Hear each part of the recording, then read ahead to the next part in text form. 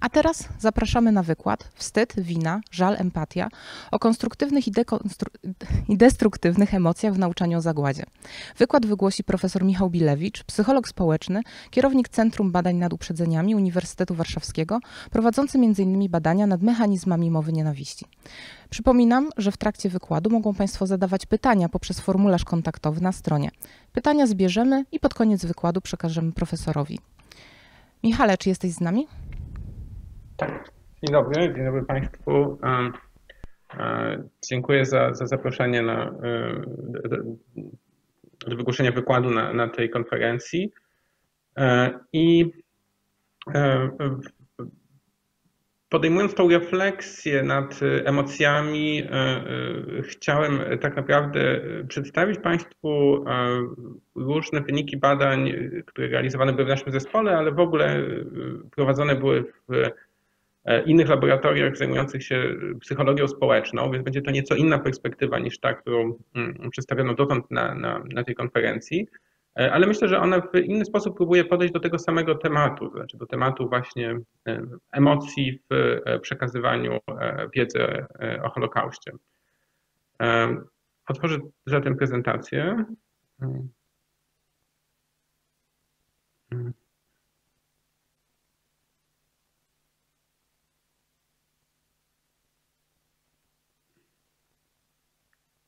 Hmm. Hmm.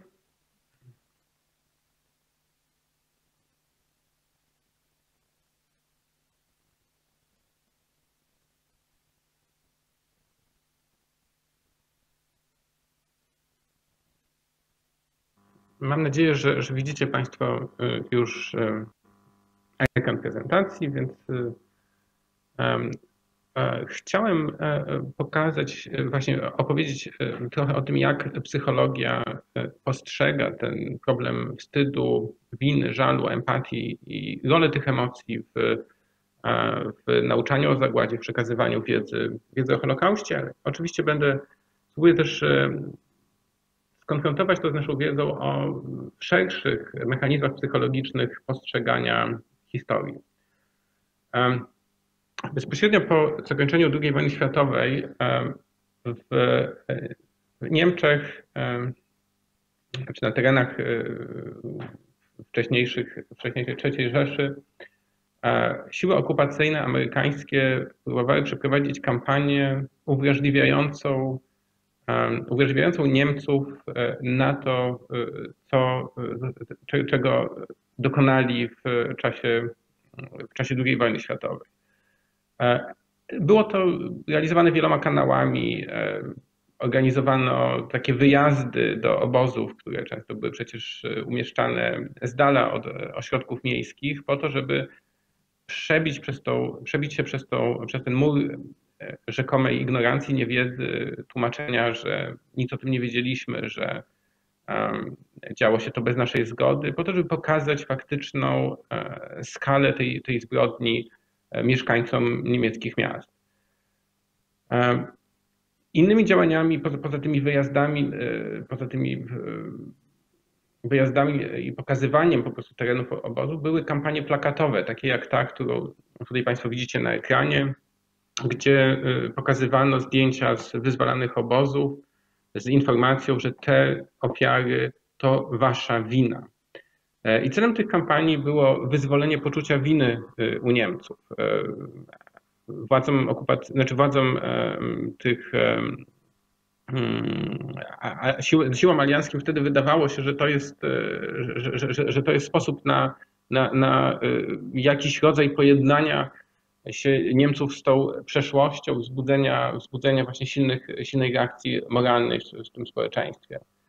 E, I jest to y, o tyle ciekawe, że z tamtego czasu mamy mm, jakieś y, zapisy dotyczące efektywności tych działań. E, Maurice Janowicz, y, amerykański socjolog i psycholog społeczny, pojawił się wtedy e, w Niemczech i próbował zrozumieć, jakie są efekty tej kampanii. Po powrocie stamtąd opublikował artykuł w amerykańskim czasopiśmie socjologicznym, gdzie E, podsumowując te badania, stwierdził, że ta kampania jest nieskuteczna, że to wzbudzanie poczucia winy w żaden sposób nie prowadzi do zwiększenia świadomości, a wręcz odwrotnie zwiększa chęć Niemców do zaprzeczania temu, co, miało miejsce. Pisał on też, że dzieje się tak również dlatego, że sami Niemcy znaleźli się wówczas w bardzo trudnym położeniu. Miasta niemieckie były zrujnowane, wielu Niemców mieszkało w piwnicach, w warunkach, e, bardzo trudnych warunkach sanitarnych, higienicznych. E, e, gospodarczo kraj był w sytuacji całkowitej zapaści i stąd bardzo trudno jest wzbudzić poczucie winy u ludzi, którzy sami czują się ofiarami. E, to jest e, e, to, co ten przykład kampanii wzbudzających poczucie winy no jest jednym z bardzo wielu, które miały miejsce na całym świecie, również po II wojnie światowej, w kontekście zbrodni kolonialnych, w kontekście wojen i ludobójstw. W zasadzie, gdyby przyjrzeć się temu, co miało miejsce w Polsce w ciągu ostatnich, ostatnich 30 lat, w zasadzie 20 lat, ponieważ y, na dobrą sprawę to się zaczęło w tak dużej skali od roku 2001, czyli ukazania się mm, książki Jana Tomasza Grossa Sąsiedzi, ale y, tak naprawdę no, już wcześniej tego typu y, debaty w Polsce prowadzono, może nie o takiej ponieważ wtedy jeszcze telewizja nie była do tego wykorzystywana tak powszechnie, no ale od, od czasu eseju Jana Błońskiego Biedni Polacy patrzą na getto, ten temat e, poczucia winy za e, los Żydów w czasie e, okupacji był w Polsce często podnoszony. Jan Tomasz Gross w Sąsiadach już dosyć bezpośrednio pisał o, o winie i o tym, że należałoby zrekonstruować sposób myślenia Polaków o II wojnie światowej i w ogóle o tym, co to znaczy być Polakiem, że w tej historii heroicznej były też zachowania niegodne, zachowania zbrodnicze e, i e, że te zachowania powinny e, wzbudzać w nas, wzbudzać w Polakach poczucie, poczucie winy. Kolejne debaty wybuchały po kolejnych książkach Jana Tomasza Grossa, Strach czy E, złote żniwa, ale nie tylko, również po, w kontekście innych e, e, filmów czy, czy, czy tekstów kultury, które, które wzbudzały różne kontrowersje, pojawiał się temat poczucia winy. Czy mm, te działania, w których próbujemy przekazywać historię poprzez wzbudzanie poczucia winy, mogą być skuteczne? E, twierdzę, że e, odpowiedź na to e, powinna być raczej negatywna, raczej przecząca. Psychologia sugeruje, że wina jest emocją mało, jest emocją dosyć destruktywną, a poza tym jest emocją dosyć rzadką. O tym, jak rzadka jest emocja winy, przekonuje wiele badań prowadzonych też w bardzo różnych kontekstach. Laurent Licata, Oliver Klein i Sabina Pierucci przeprowadzili badanie w Belgii, w którym to badaniu przedstawiali, e, e, przedstawiali Belgom historię e, związaną z, ze zbrodniami dokonanymi w Kongo mm, w czasach, w czasach króla Leopolda, kiedy doszło do, do no, de facto ludobójstwa ludności Kongo, zbrodni kolonialnej na, na zupełnie niespotykaną skalę w czasach, kiedy kiedy Kongo było własnością prywatną, prywatną e, e, belgijskiego władcy. No i teraz e, pokazując tą historię Belgom, spośród których duża większość w ogóle nie miała świadomości tych zbrodni, zbadali oni, w jakim stopniu Belgowie odczuwają poczucie winy w związku z tą historią, o której się przed chwilą dowiedzieli i czy gotowi byli poprzeć, czy byliby gotowi poprzeć jakieś reparacje, jakiegoś rodzaju odszkodowania dla, dla e, współczesnych mieszkańców Kongo, którzy do dzisiaj e, tą e, straszną historię wspominają. I to, co zmierzyli też Likata i współpracownicy, to siłę identyfikacji Belgów z Belgią. Na ile oni utożsamiali się, też, czy, czy bycie Belgiem było dla nich czymś ważnym, czy, czy ta tożsamość belgijska była dla nich czymś istotnym. Tutaj na, na osi X widzicie Państwo siłę identyfikacji od minus 4,5, czyli bardzo niska identyfikacja, znaczy negatywna identyfikacja, ludzie, którzy pewnie powiedzą, ja czuję się Brukselczykiem, czuję się e, Walończykiem, bycie Belgiem dla mnie nic nie znaczy. E, albo czuję się Europejczykiem, a bycie Belgiem nie jest dla mnie istotne. No i po drugiej stronie 4,5 no to jest ten bardzo wysoki poziom identyfikacji, czyli bycie Belgiem jest dla mnie bardzo ważną częścią mojej tożsamości e, i to jest taki, można powiedzieć, nacjonalizm. Tak? I jak sobie popatrzymy na tą krzywą, to ona jest, właśnie ta zależność jest krzywoliniowa, tak? to, jest, to jest związek kwadratowy. To znaczy, że bo na, na, na zmiennej Y właśnie są te, jest poczucie winy, to jest ta zmienna ciągła, znaczy ta, ta zmienna, znaczy ta, ta, ta, krzy, ta, ta krzywa y, narysowana linią ciągłą i linią przerywaną jest właśnie poparcie dla, dla odszkodowań. Więc jeżeli chodzi o poczucie winy, jak widzicie Państwo, w zasadzie pojawia się ona u osób, wyłącznie u osób o średnim poziomie identyfikacji. Ludzie, którzy bardzo słabo identyfikują się z Belgią, myślą sobie, te wszystkie historie, te wszystkie zbrodnie nie mnie dotyczą. Tak? My, Walończycy, tego nie robiliśmy. To pewnie ci z Flandrii, albo odwrotnie. Tak? Jeżeli e, robimy badanie, jeżeli mamy e, Belgów z części flamandzkiej, no to im powiedzą, nie, to nie, nie jest nasza sprawa, Bruksela, frankofonii, to, to, pewnie, to pewnie oni są, są za to odpowiedzialni. Ci, którzy się czują Europejczykami, albo tak, których tożsamości narodowe w ogóle nie są istotne, też nie czuli się winni z, z powodu tej historii. No i podobnie było po drugiej stronie tej krzywej, czyli ci, którzy byli bardzo nacjonalistycznie nastawieni, mówili, my Belgowie przecież nigdy czegoś, żadnej zbrodni nie mogliśmy dokonać. Więc oni również, co w Polsce pewnie dobrze znamy, oni również wypierali e, winę z powodu swoich e, nacjonalistycznych odczuć. E, I ta zależność krzywoliniowa, ją widzimy w bardzo wielu innych badaniach również. Na przykład w niedawnych badaniach Torstena Masona i Markusa Barta z Uniwersytetu w Lipsku, którzy z kolei przedstawiali nie teorię zbrodni w Namibii. To też jest o tyle ciekawe, że to jest ludobójstwo ludu Herero, o którym E, o którym w zasadzie się w Niemczech nie mówi, a które było pewnym no, takim wzorcem dla, później dla Holokaustu. To znaczy to było faktycznie masowe unicestwianie, e, unicestwianie e, tego plemienia Herero i, i drugiego jeszcze plemienia Nama, z tego co pamiętam. I do dzisiaj jest to temat praktycznie nieobecny w, w niemieckiej edukacji. Więc oni pokazywali tą historię Niemcom i znowu E, zmierzyli to, co oni nazywają centralnością tożsamości grupowej, czyli to, na ile bycie Niemcem jest dla ciebie ważne. Czy bycie Niemcem jest dla ciebie na przykład ważniejsze od bycia wyborcą e, e, SPD czy CDU, czy, czy jest ważniejsze dla ciebie od bycia studentem, mężczyzną, kobietą i tak dalej. Czy też raczej ważne są dla ciebie inne sprawy, tak? Bycie, nie wiem, bycie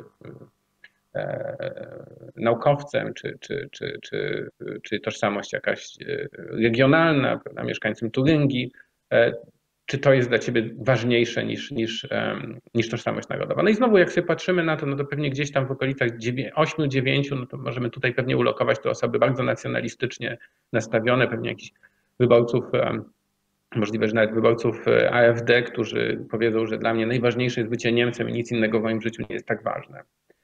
No i znowu widzimy, że e, u tych osób poczucie winy jest bardzo słabe. Tak? Te osoby praktycznie nie odczuwają winy, kiedy, kiedy e, zobaczą tekst przedstawiający im zbrodnie dokonane przez, przez Niemcy w, w Namibii na, na początku XX wieku. I co jednak ciekawe, ten związek znowu jest krzywoliniowy. On nie jest liniowy. To nie jest tak, że ci, którzy się nie identyfikują z Niemcami, będą winę odczuwać u tych osób, które mają bardzo niski poziom identyfikacji Niemcami, również te, te, to poczucie winy się nie pojawiło. Mason i Barth zadali sobie pytanie, dlaczego tak się dzieje. Zapytali też e, e, o e, różnego, przedstawili badanym różnego rodzaju stwierdzenia, które nazwali taką defensywnością historyczną, czyli takim rodzajem jakichś strategii obronnych. Więc na przykład pytali się, czy zgadzają się ze stwierdzeniem, że inne narody też dokonywały zbrodni kolonialnych i na tle zbrodni, brytyjskich zbrodni kolonialnych, to te niemieckie zbrodnie kolonialne to w sumie nie jest nic tak strasznego. E, albo powinniśmy się skoncentrować na takich wydarzeniach w historii, w których jako naród zachowywaliśmy się godnie e, i dzielnie, a nie ciągle mówić o tych e, sprawach, które z przeszłości, które, które, które ciążą na dobrym imieniu naszego narodu. Tak? To, to coś, co się Niemczech nazywa, e, używać tego określenia Schlussstrich, tak? czyli, czyli takiej grubej kreski. Tak? Odetnijmy się od przeszłości i myślmy o przyszłości albo o tych aspektach przeszłości, które są, które są pozytywne.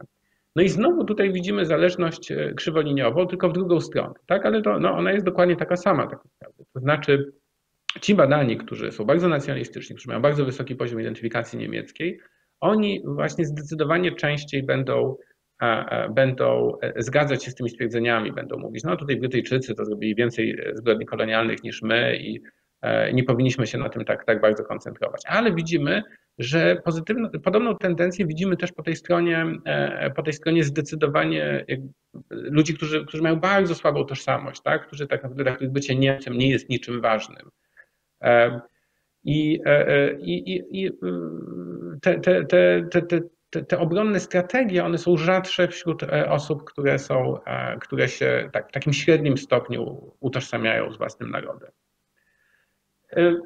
Jakiś czas temu mm, zredagowaliśmy z, z Johanną Folhardt taki zbiór tekstów, który się ukazał jako numer specjalny w czasopiśmie Journal of Social Issues dotyczących psychologii ludobójstwa. I e, do tego numeru zaprosiliśmy e, e, zespół Kolina Licza i, i, współpracowników, którzy postanowili sprawdzić, jak w ogóle, znaczy, bo tych badań dotyczących poczucia winy w psychologii jest bardzo dużo. Zwykle sugeruje się, że poczucie winy ma różne pozytywne konsekwencje. Jeżeli ktoś czuje się winny z powodu zbrodni, których dokonali jego rodacy, no to pewnie będzie bardziej gotowy do, do, do, do poparcia jakichś rekompensat czy zadośćuczynienia za to, co się stało. E, ale Licz zauważył jedną ciekawą rzecz w tych artykułach. Znaczy w tych wszystkich badaniach, jak się popatrzy na to, jaki jest obiektywny poziom winy, na przykład gdy badani dostają skalę przedziałku od 1 do 6, w jakim stopniu czujesz się winny z powodu zbrodni dokonanych w Indonezji, tak? I pytamy o to, o to Holendrów no to jak się okazuje, większość badanych y, y, powie, że raczej się nie czuje winnym, tak? To znaczy, że gdzieś powie jeden na skali od 0 do 6 albo dwa na skali od, od 1 do 7. I oczywiście jest jakieś zróżnicowanie w, w populacji, znaczy mamy takich, którzy powiedzą, że zupełnie nie i takich, którzy powiedzą, że raczej nie, więc skoro jest jakieś zróżnicowanie, jest jakaś wariancja, to można policzyć współczynnik korelacji i powiedzieć, no proszę bardzo, ci, którzy się czują trochę, trochę bardziej odczuwają tą winę, to będą e, bardziej gotowi poprzeć rekompensaty. Ale ciągle jest tak, że mówimy tutaj o praktycznie nieistniejących zjawiskach, mówił Licz. No i, i Licz postanowił wziąć wszystkie te badania, które przeprowadzone w bardzo różnych kontekstach, gdzie badani mieli się ustosunkować do zbrodni dokonanych przez ich, ich, ich naród. I tutaj, Państwo widzicie, to jest taki dosyć może nietypowy sposób jania tych wyników, ale tutaj za każdym razem na osi Y jest jakby zakres skali, tak? czyli na przykład pierwsze badanie i każdy taki jeden słupek to jest jedno badanie. No więc mamy tutaj cztery badania przeprowadzone w Holandii dotyczące głównie zbrodni kolonialnych e, holenderskich, e, badanie przeprowadzone w Belgii dotyczące zbrodni właśnie w Kongo, potem badania prowadzone w Portugalii w kontekście zbrodni kolonialnych, badania przeprowadzone we Włoszech w kontekście e, zbrodni w Etiopii, w Abysynii, tak? znaczy z czasów, z czasów Mussoliniego, badania prowadzone w Wielkiej Brytanii, E, e, w kontekście e, zbrodni kolonialnych i w, w Indiach. Badania prowadzone w Australii, związane z, zarówno z odleglejszą historią, jak i z bardziej współczesną, związane z różnymi nadużyciami wobec rdzennej ludności w Australii. No i tych badań było znacznie więcej. Tutaj pokazuję tylko, tylko kilka wybranych. No i tutaj za każdym razem ta kreska pozioma, czarna, ona pokazuje, gdzie jest środkowy punkt skali. Natomiast te takie bąbelki, które mają kolor szary, biały e, albo czarny, e, to one pokazują, gdzie się mieści rozkład odpowiedzi na, czyli średnia, średnia razem z, z, z jakąś wariancją, e, właśnie opisująca te emocje. No i jak sobie na to patrzymy, no to mamy ten pierwszy słupek i widzimy emocja winy, czyli ten biały bąbelek, no to ona jest jednak trochę poniżej tego średniego poziomu. Ona gdzieś zachodzi na ten średni poziom, ale nie widzimy, żeby, żeby była tutaj jakaś szóstka czy siódemka, czyli silne poczucie winy. Drugi słupek, no to mamy tutaj z kolei właśnie emocje winy i wstydu mierzone razem. No i one są gdzieś na samym dole, tak, przy jedynce. No, czyli w zasadzie w tym badaniu prawie wszyscy badani powiedzieli, nie odczuwam takiej emocji. Kolejne badanie, też widzimy, że to jest dużo, zdecydowanie poniżej środkowego punktu skali. Kolejne badanie, emocja winy jest poniżej środkowego punktu skali. Badania w Belgii też. E, badania w Portugalii, no to widzimy, że jeżeli chodzi o poparcie dla, dla reparacji, no to ono jest trochę powyżej, ale jeżeli chodzi o emocje winy, no to ta emocja winy jest zdecydowanie poniżej środkowego punktu skali. W badaniach włoskich również emocje winy czy wstydu mierzone w tych badaniach były poniżej środkowego punktu skali. W jednym badaniu brytyjskim widzimy, że faktycznie emocje winy czy wstydu się pojawiły, ale już w drugim badaniu one są poniżej tego e, środkowego punktu skali. Więc generalnie, jak sobie popatrzymy na wszystkie te badania, to widać, że psychologowie bardzo długo badali praktycznie nieistniejące zjawisko. To znaczy, jeżeli, jeżeli nasi badani odpowiadają na pytanie, nie zgadzam się z tym stwierdzeniem, albo nie odczuwam tej emocji, e, a, bardzo niewielu badanych mówi, że, że, że, że cokolwiek, e, cokolwiek w związku z, z, z jakiegokolwiek typu emocje odczuwa, no to faktycznie e, nawet jeżeli pokażemy jakieś wyniki właśnie korelacyjne z użyciem tej skali, no to jednak piszemy o zjawisku, które praktycznie nie istnieje. Dlaczego emocja winy jest tak rzadka? Żeby to zrozumieć, warto e, e, zastanowić się nad modelami regulacji emocji i taki najbardziej powszechnie stosowany, przyjmowany w psychologii model regulacji emocji to jest model regulacji emocji Jamesa Grossa.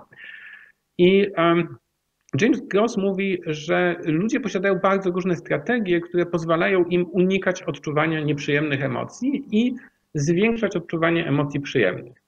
I e, on mówi, że są dwie takie kategorie e, e, regulacji emocji. Znaczy, tę jedną kategorię strategii regulujących emocje to są regulacje wyprzedzające, druga kategoria to regulacje korygujące. Regulacja wyprzedzająca to jest to wszystko, co pozwala nam emocji nie odczuwać, zanim ona się jeszcze pojawi. Czyli po pierwsze na przykład wybór sytuacji, tak? To znaczy mogę, jeżeli boję się węży, no to prawdopodobnie będę unikał jakiegokolwiek spotkania z e, jakimikolwiek gadami, żeby przypadkiem e, ta emocja się we mnie nie pojawiła. Modyfikacja sytuacji, znaczy mogę spróbować tak do tej sytuacji doprowadzić w taki sposób, jeżeli miałyby się pojawić te węże w moim otoczeniu, to e, mieć pewność, że one się znajdą w klatce i w ten sposób ja tego, te, te, te, ta emocja nie będzie, nie, nie pojawi się we mnie. Kolejna strategia to jest strategia ukierunkowania uwagi. Mogę sobie po prostu starać się nie patrzeć na tego węża. Nawet jeżeli on się pojawi w moim otoczeniu, to mogę robić wszystko, żeby, żeby odwrócić wzrok od niego. W ten sposób też emocji do siebie nie dopuszczę. Poznawcza reinterpretacja i to już są reakcje korygujące. Czy już widzę tego węża, jestem z nim w jednym pomieszczeniu, ale mogę pomyśleć o tym, że y, to jednak może nie jest wąż jadowity, tak? I sobie samemu powiedzieć, że to, to jest y, może zaskroniec jakiś, nie, nie ukąsi mnie prawdopodobnie. I w ten sposób, pomimo, że prawdopodobnie jest to, realnie to jest jadowity wąż, to ta poznawcza interpretacja pozwala mi obniżyć poziom, e, na przykład poziom lęku w tej sytuacji. No i w końcu modulacja ekspresji emocji, to znaczy mogę starać się tłumić emocje, to znaczy nie ujawnić jej, nikomu nie mówić, że się boję, chociaż tak naprawdę się boję. Będę się pocił i tak dalej, ale nikomu nie powiem, żebym, e, że rzeczywiście e, taką emocję odczuwam. Sam, sam przed sobą do tego się nie przyznam. No jak możecie pewnie Państwo się spodziewać, te regulacje korygujące, czyli te ostatnie, to znaczy interpretacja, modulacja ekspresji są mniej skuteczne. Tak? Te, te, wyprzedzające są bardziej skuteczne. I to dotyczy generalnie wszystkich emocji, to znaczy wszystkich emocji negatywnych i pozytywnych. Jest bardzo wiele badań neurofizjologicznych, które pokazują, jaki, jakie są mechanizmy kryjące się za tym, za tym modelem. I Jakiś czas temu postanowiłem odnieść ten model e, regulacji emocji do wyników bardzo, bardzo wielu badań psychologicznych dotyczących tego, w jaki sposób ludzie unikają winy zbiorowej. Bo tutaj tak naprawdę mamy bardzo podobne, podobną strukturę, jak w tym właśnie o czym, e, e, o czym pisał James Gross. Czyli po pierwsze, wybór sytuacji. Jak, jak, jak możemy tego dokonać wtedy, kiedy właśnie ktoś próbuje pokazać nam przedstawić nam jakąś historię, która rzuca, y, która ukazuje nas w negatywnym świetle, która sugeruje nam jakąś odpowiedzialność y, historyczną. Znaczy możemy unikać kontaktu ze źródłem tej wiedzy. Możemy wybierać sytuacje, które y, będziemy upamiętniać. Tak? Znaczy możemy się skoncentrować na, na, na pewnych wydarzeniach, których e, e, nasza grupa czy nasz naród zachował się, się godnie e, i nie, nie myśleć o tych, które, które właśnie są źródłem, potencjalnym źródłem uczucia winy. Potem modyfikacja sytuacji. No to jest, tutaj na przykład mamy kwestionowanie kompetencji źródła. Możemy odmawiać e, temu źródłu wiarygodności. Różnego rodzaju cenzury, formy cenzury historycznej. Tak? Możemy zakazywać, jak widzieliśmy to w Polsce w 2018 roku doskonale na przykładzie nowelizacji ustawy o IPN, możemy próbować zakazywać e, pewnych wypowiedzi. Tak? W ten sposób jakby no, tworzymy sytuację, w której o pewnych wydarzeniach nie można mówić w, w dany sposób. E, w różny sposób możemy wyciszać narrację, możemy, możemy odbierać, e, uniemożliwiać dotarcie do kanałów komunikacji tym, którzy mieliby nam przedstawiać takie, takie historie. Kolejne strategie, pewnie ciekawsze dla psychologów, no to są właśnie te, które są, które mają charakter taki bardziej właśnie ukierunkowujący uwagę albo reinterpretujący. Jest sporo badań pokazujących rolę zaprzeczania w tym, znaczy po prostu zaprzecza, zaprzeczania E, historycznej wiedzy jako strategii, która pozwala właśnie odsunąć od siebie te emocje. Różnego rodzaju teorii spiskowych. Teorie spiskowe pozwalają przedstawić tą samą e, sytuację w, e, w inny sposób, tak? pokazać, że, że te nasze działania tak naprawdę były spowodowane jakimiś, jakimiś intrygami czy jakimiś zakulisowymi działaniami, na które nie mieliśmy wpływu. E, czy różnego rodzaju strategii rywalizacji cierpień, tak? gdzie możemy ukierunkowywać uwagę na własnych cierpieniach, na, na cierpieniach własnego narodu e, i wtedy nawet jeżeli w obiektywny sposób jesteśmy konfrontowani z negatywną historią, no to e, nadal może ona nie wzbudzać nas poczucia winy, ponieważ nasza uwaga jest skierunkowana na zupełnie innych, innych doświadczeniach. Potem strategie, które możemy nazwać poznawczymi, poznawczą reinterpretacją. No i tutaj mamy na przykład tendencyjne wyjaśnienia, czyli, czyli e, e, e, to wszystko, co bada psychologia atrybucji. Czyli na przykład, jeżeli zrobiliśmy coś złego, to prawdopodobnie dlatego, że jesteśmy sprowokowani przez drugą stronę. Jeżeli zrobiliśmy coś złego, to prawdopodobnie istnieje jakaś zewnętrzna przyczyna, która nas do tego zmusiła. Jeżeli zaś zrobiliśmy coś dobrego, no to prawdopodobnie E, jest to e, spowodowane naszymi cechami osobowości. Tutaj bardzo wiele badań, które prowadziliśmy w naszym zespole, pokazują, że gdy tylko ludzi konfrontujemy, gdy tylko e, Polaków konfrontowaliśmy z wiedzą o, o jakichś historycznych, czy to zbrodniach, czy w ogóle niegodziwościach dokonanych w przeszłości przez Polaków, to automatycznie, nawet jeżeli to były historie, których badani wcześniej w ogóle nie znali, od razu badani byli gotowi je wyjaśniać, tak? I wyjaśniać w taki sposób, który powodował, że nawet jeżeli przyjęli te fakty, to sama struktura wyjaśnień powodowała, że ta odpowiedzialność była odsunięta i emocja winy się nie pojawiała. E, kolejną strategią reinterpretacji poznawczej jest dehumanizacja ofiar. Znaczy, kiedy postrzegamy ofiary jako trochę mniej ludzi, trochę ludzi, którzy odczuwają trochę mniej emocji, tak naprawdę są no, nie do końca ludźmi. Tak? I to pewnie nikt nie powie otwarcie, że oni nie są ludźmi, ale jak pokazują badania Castano i Ginexoroli, ten, wtedy, kiedy na przykład e, dowiadujemy się, że e, e, nasz, nasza grupa czy nasz naród skrzywdził jakąś in, jakiś inny naród, wtedy automatycznie przestajemy dostrzegać pewne specyficznie ludzkie uczucia, emocje u tych ofiar. Oni robili badania również właśnie w kontekście zbrodni kolonialnych w Anglii czy, czy w Holandii i we wszystkich tych badaniach właśnie zauważyli, że jeżeli się mówi Anglikom na przykład o jakichś zbrodniach w Indiach, to po tej informacji badani od razu jakoś przestają u Hindusów dostrzegać takie typowo ludzkie emocje, jak na przykład żal, wstyd, nostalgia, miłość. E, I oni mówią, że tu jest właśnie ten taki bardzo subtelny sposób dehumanizowania, że jeżeli dowiadujemy się, że, że, że, że krzywdzimy kogoś, no to wtedy przestajemy dostrzegać e, e, w tej osobie pełni człowieczeństwa.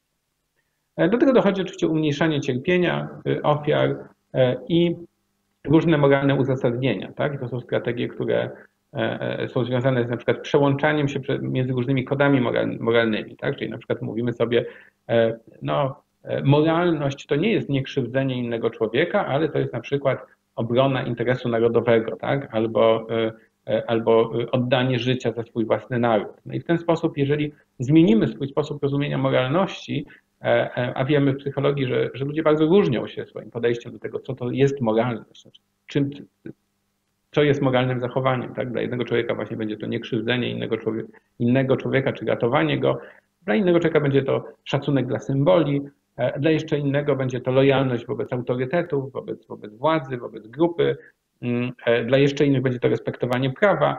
Więc te sposoby myślenia o moralności, jak się okazuje i pokazuje to w badaniach Bernard Leitner, E, e, one się zmieniają. Jeżeli się dowiadujemy, że dokonaliśmy jakiejś zbrodni, czy że ktoś cierpiał przez nas, to nagle e, ten, ten, ten, ta podstawa moralna, w której unikanie cierpienia innego człowieka jest, jest podstawą moralności, ona nagle zaczyna zanikać i ustępować na przykład właśnie tym, tym, tym takim grupowym formą moralności, czyli że moralny jest szacunek dla symboli, dla autorytetów, dla, dla narodu i postępowanie zgodnie z, z tymi nakazami. No i w końcu ostatnia z tych strategii, czyli modulacja ekspresji emocjonalnej. No i tutaj właśnie możemy tłumić reakcję emocjonalną, możemy wybierać sobie emocje, powiedzieć, że no nie ma powodu, żebyśmy czuli, odczuwali winę, E, więc jakby świadomie mam, mamy e, świadomość tego, że ta emocja może się w nas pojawić, ale próbujemy jej zaprzeczyć. Tutaj no myślę, że w Polsce, w polskiej debacie publicznej w ostatnich latach bardzo wiele tego przykładów mogliśmy widzieć. E, I gdy już ten model jakby odniosłem różnych, do, do różnych badań prowadzonych i w naszym zespole i, i w innych zespołach, to zastanowiłem się nad tym, czy nie jest tak, że my w zasadzie strategię regulacji emocji możemy zobaczyć nawet w kontekście jednej debaty e, dotyczącej właśnie e, odpowiedzialności zbiorowej. I pomyślałem, że taką dobrą debatą, którą można by przeanalizować w ten sposób jest e, debata właśnie po ukazaniu się książki Sąsiedzi Jana Tomasza Grossa. Bo tam tak naprawdę pojawiły się wszystkie z tych strategii. Jak się wczytać w artykuły, które się ukazały w Rzeczpospolitej, gdzie wtedy była najwięcej właśnie tekstów na, wokół tej, w czasie tej debaty jedwabińskiej. Ta, ta debata się zaczęła w Rzeczpospolitej, zanim się rozwinęła w Gazecie Wyborczej czy, czy w innych mediach, to, to tam znajdziemy wszystkie z tych, z, tych, z tych e, strategii. Po pierwsze wybór sytuacji, czyli na przykład artykuły sugerujące pamiętajmy o Westerplatte, e, a nie o Jedwabnem, tak? To znaczy, że pamiętajmy o, o, o godnych historiach e, w historii naszego narodu, a nie o, o, o zbrodniach. Modyfikacja sytuacji. E, szereg artykułów, które podkreślały to, że Jan Tomasz Gross nie jest historykiem, że e, pracuje, e, wtedy pracował chyba na NYU jako, jako politolog, że nie ma wykształcenia historycznego, tylko ma wykształcenie socjologiczne. Podnoszenie tych wszystkich argumentów miało, miało dyskredytować samego autora. Jeżeli dyskredytujemy warsztat autora, no to wtedy możemy odsunąć od siebie treść tych argumentów, które on przedstawia. Dalej ukierunkowanie no tutaj na przykład pojawiały się takie tezy, to chyba było w artykule e, e, Antoniego Sułka, że, e, ale, ale też w tekstach profesora Strzembosza, że zbrodni dokonali ludzie zbędni, zbrodni dokonał margines społeczny, tak? Czyli używanie takich kategorii, można powiedzieć socjologizujących w tym wypadku, ale jednak sugerujących, że to nie są typowi Polacy, ci, którzy dokonali zbrodni. No i dalej poznawcza reinterpretacja. E, no tutaj e, pojawiały się takie e, teksty, w których pisano zupełnie otwarcie, że to byli Niemcy, którzy dokonali tej zbrodni, którzy wykorzystali pod przymusem grupkę Polaków. Później śledztwo IPN-owskie wykazało, że, że, że i to badanie, badanie jedwabnego, którego efektem są, są tomy wydane przez, przez IPN, wykazało, że, że, że, że ten argument nie jest prawdziwy, ale jak się okazało, ten argument przetrwał do naszych czasów i jeszcze niedawno mogliśmy go usłyszeć z ust e, e, ówczesnej minister edukacji e, narodowej, że tak naprawdę sprawcami zbrodni byli Niemcy, a nie Polacy. I, i, I ta poznawcza reinterpretacja, ona też ma służyć właśnie odsunięciu, odsunięciu emocji winy. No i w końcu modulacja ekspresji. No i tutaj wiele takich argumentów, że należy powstrzymać pedagogikę wstydu, tak? że należy przestać, przestać się biczować i zamiast tego zaproponować, e, więc zupełnie e, jakby takie bezpośrednie odniesienia do tego, że ktoś próbuje w nas wzbudzić te emocje, my tych emocji nie chcemy. To wszystko powoduje, że sama historia Jedwabnego nie była przyswajana, tak? Znaczy, że można było odsunąć fakty, ale przyczyną tego, przyczyną tego było, była chęć uniknięcia emocji. No i co można z tym zrobić? To znaczy, jakie są sposoby na to, aby e, ludzie byli bardziej gotowi e, pogodzić się z, z tymi emocjami? No, po pierwsze, e, tożsamości inkluzywne i są badania prowadzone, które prowadziliśmy z, z Katarzyną Hammer i, i, i z Martą Pęczek na ten temat, ale też bardzo ciekawe badanie eksperymentalne Mirosława Kowty i Patrycji Sławoty, gdzie oni pokazali, że ta, to, ta chęć, gotowość do pojednania czy, czy, czy w ogóle odczuwanie e, e, winy pojawia się zdecydowanie częściej u tych badanych, których skłoniono do, do pomyślenia o tym, że ofiary są takie jak oni, to znaczy, że oni i ofiary są, są kulturowo ze sobą na przykład bardzo, bardzo powiązani. To znaczy taka deegzotyzacja Żydów uświadomienie, że, to, że, że, że Żydzi byli, Żydzi i Polacy w Jedwabnym na przykład się, niespecjalnie różnili, że, że ich sposób życia był bardzo podobny. Kofta i Sławuten nawet pokazali coś takiego, że nawet sugerowali takie podobieństwo genetyczne, tak, że nowe badania genetyczne pokazują, że, że, że Polacy i Izraelczycy mają bardzo, bardzo podobny genotyp, zupełnie inny od, od innych narodów. Tak? I to, i to też miało stworzyć takie poczucie, że tutaj, że, że my jesteśmy bardzo podobni, że, że, że należymy do jakiejś i mamy jedną wspólną tożsamość. I wzbudzenie tych tożsamości inkluzywnych faktycznie powoduje, że jeżeli ludzie się potem dowiadują, że dokonali e, jakichś zbrodni na tych, którzy no, w sumie są nami, no to, e, to wtedy emocja winy się pojawia w dużo większym stopniu. E, jest wiele badań, które prowadziliśmy z, z Anną Stefaniak, które pokazują, że tożsamości lokalne mają tutaj dużą rolę, ponieważ ta tożsamość lokalna zawsze jest bardziej inkluzywna. To znaczy wtedy, kiedy skłonimy do, wzbudzimy bardziej tą tożsamość, że jestem z, jestem warszawiakiem, tak? No teraz na przykład bardzo modny i powszechnie oglądany serial, który pokazuje, E, e, pokazuje e, żydowski półświatek w Warszawie jako właśnie taki, no, czy polsko-żydowski półświatek w Warszawie jako coś takiego bardzo tutejszego, bardzo rdzennego w Warszawie, to też może spowodować, że jeżeli silnie się identyfikujemy z Warszawą, to wtedy ci Żydzi, którzy tu byli, oni nagle stają się znowu trochę nami, tak? I wtedy stąd też te emocje moralne, emocje winy się będą częściej pojawiały wtedy, kiedy dowiadujemy się, że ktoś z nas ich skrzywdził. E, dosyć ciekawe są też e, e, wyniki badań, które prowadziliśmy, pokazując historię, historię przykładów moralnych zachowań z czasów historii, z czasów zbrodni i to są badania, które prowadziliśmy nie tylko w Polsce, ale też na przykład w Turcji, Armenii w kontekście ludobójstwa Ormian. Sporo badań, które przeprowadziliśmy w, mm, w Bośni e, w kontekście zbrodni w Srebrenicy i, i, i zbrodni wojennych dokonanych przez, przez Serbów na Bośniakach. E, I e, wszędzie tam pokazywaliśmy historie sprawiedliwe, tych, których byśmy nazywali w Polsce sprawiedliwymi wśród narodów świata w kontekście Holokaustu, ale w ogóle no, ratujących, tak, różnych ludzi, którzy w czasie tych zbrodni ratowali, ratowali ofiary. No i teraz okazuje się, że pokazanie takiej historii, wtedy kiedy Jednocześnie no nie, nie będziemy sugerować, że one były całkowicie powszechne i że wszyscy ratowali, ale że e, zachowania w czasie okupacji były zróżnicowane, czy że zachowanie w czasie ludobójstwa e, w Srebrenicy również, nawet wtedy wśród Serbów można było znaleźć ludzi, e, którzy udzielili Bośniakom pomoc, czy, czy nawet w Turcji w czasie ludobójstwa Ormian znaleźli się urzędnicy tureccy, którzy próbowali ratować, ratować Ormian. E, taka świadomość okazuje się, że ona pozwala, pozwala znaczy ona ułatwia pojednanie. Ona ułatwia od, odczuwanie tych emocji moralnych, ponieważ w gruncie rzeczy ona daje takie poczucie, że nie jesteśmy całkowicie wszyscy naznaczeni, że są wśród nas, byli wśród nas też tacy, do których chcielibyśmy dzisiaj się, się upodobnić, których wzorem chcielibyśmy podążać. E, no i koncentracja na ofiarach, a nie sprawcach. I o tym chciałbym powiedzieć troszeczkę więcej e, w drugiej części tego wykładu e, i pokazać różne badania, w których badaliśmy następstwa emocji winy. To znaczy, do czego prowadzi emocja winy. Otóż te badania brały się z takiego przekonania, że oto dotąd psychologowie zwykle, gdy badali poczucie winy, to badali gotowość do, do reparacji czy do, do zadośćuczynienia. Znaczy pytali się, czy Gotów byłby Pan wesprzeć jakiś fundusz e, e, na rzecz e, potomków mieszkańców Indonezji, którzy ucierpieli w czasie zbrodni kolonialnych? Albo czy, czy, czy, czy, czy nasze państwo powinno wesprzeć jakoś, poprzez jakimiś, jakimiś inwestycjami, na przykład wesprzeć Kongo dzisiaj, wtedy ten, kiedy ten kraj jest, jest w takiej zapaści, ale tak naprawdę historycznie przyczyną tego były zbrodnie, których dokonali, dokonali.